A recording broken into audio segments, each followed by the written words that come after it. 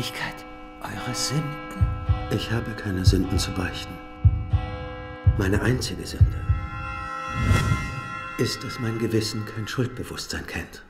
Gestatten, das ist Lenny Bellardo. Er ist Amerikaner und mit äh, Anfang 40 der jüngste Papst aller Zeiten. Und als Pius XIII. tritt er sein Amt im Vatikan an und die alteingesessenen Kardinäle denken eigentlich von Anfang an, diesen Mann können wir ganz einfach beeinflussen und er ist eine leicht zu manipulierende Mari Marionette. Doch äh, komplett das Gegenteil ist der Fall. Er ist nämlich sehr exzentrisch und vor allen Dingen auch machtbewusst und bricht von Anfang an mit alten Mustern und Regeln. Wie zum Beispiel hebt er das komplette Rauchverbot auf ähm, im Vatikan, um dann ganz gepflegt in den äh, einzelnen Dienstzimmern auch schön eine zu barzen und zu qualmen. Darüber hinaus trinkt er zum Frühstück, wohlgemerkt Cherry Coke Zero, auch sehr, sehr lecker. Und ist ein strikter Gegner auf der anderen Seite von Abtreibungen und zeigt wirklich auch definitiv keine Angst davor, sich mit dem kompletten Klerus anzulegen. Von heute an musst du die Kirche führen. Eine Milliarde Menschen. Ein Fünftel der Weltbevölkerung. Verstehst du, was ich damit sagen will? Ich muss Ihnen aufrichtig sagen, Schwester Mary, dieser Papst ist ein sehr widersprüchlicher Mensch. Was du über mich denkst, kümmert mich nicht. Ob ich mich für das Amt eigne, ob du mich für schwach hältst oder für einen Schurken. The Young Pope ist eine zehnteilige Serie von unter anderem HBO und Sky, die von Paolo Sorrentino in Szene gesetzt wurde. Und wie ich schon ein paar Mal betont habe, bin ich schon ein ziemlich großer Fan dieses Regisseurs, seit Il Divo im Prinzip. Und deswegen war ich auch sehr gespannt, was jetzt passieren würde, äh, was seinen Stil angeht und vor allen Dingen seine Art und Weise, Filme zu drehen, wenn er das auf eine Mehrteiler äh, in diesem Fall verteilt. Und ich kann nach Ansicht der ersten Staffel sagen, leider etwas schleppend. Also noch nicht so überzeugend, weil Sorrentino einfach wirklich mindestens fünf Folgen braucht, um völlig zu seiner Form zu finden. Und so wird die erste Hälfte vor allen Dingen von der Vergangenheit und den Geheimnissen von Papst Lenny sozusagen getragen.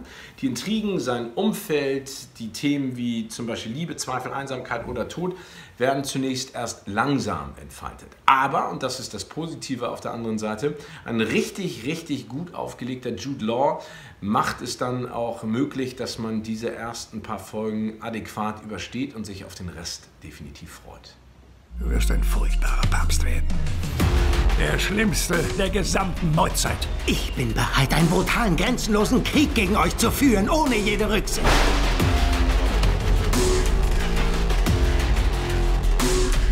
Ich weiß alles, was ein mächtiger Mann über die Menschen, die für ihn arbeiten, wissen muss.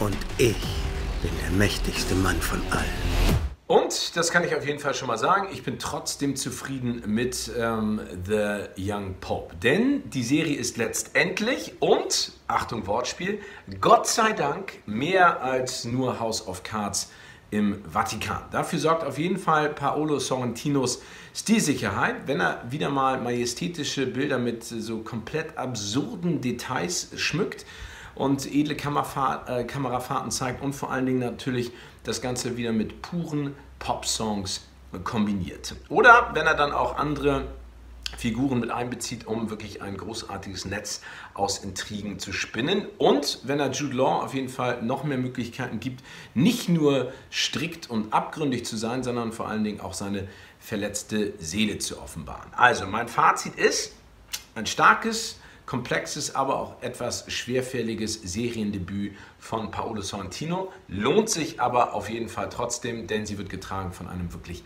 leidenschaftlichen Hauptdarsteller. Meine Ranks-Tags, Paolo Sorrentino, Jude Law, Vatikan-Intrigen-Dramaserie, Ami, Provokateur, Papst und fesselnd überstilisiert.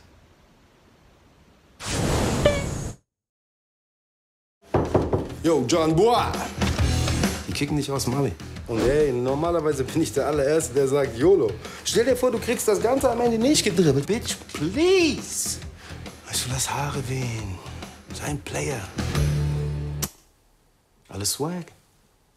Was der gute Danny Boyle kann, das kann Christian Zübert es schon sehr, sehr lange. 16 Jahre nach seinem Regiedebüt, Achtung, und jetzt muss man immer darauf achten, welchen Namen man wie sagt. Lambok war ja sein Regiedebüt.